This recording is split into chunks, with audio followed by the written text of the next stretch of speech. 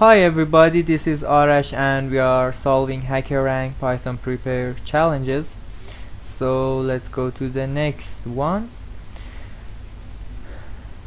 The next challenge is a string split and join and it is an easy one. Let's click on solve and uh, it's very simple. It's going to give us a normal text like this.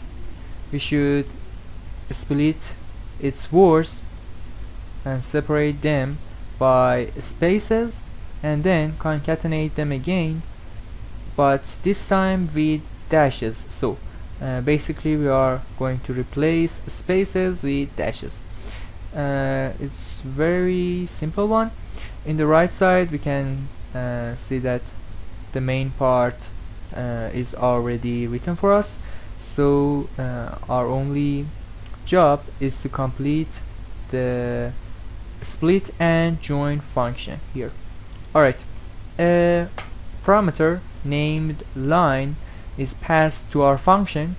First of all we need to split it so line will be equal to line dot split and we specify that it should be splitted by spaces. After that we should again uh, created by dashes. So dash dot join line. This concatenates uh, the separated parts again. And we should simply return the new line in the function. Alright uh, let's submit the code. It was very fast and um, very good. Alright guys. Thank you for watching my video. This was Arash. See you next time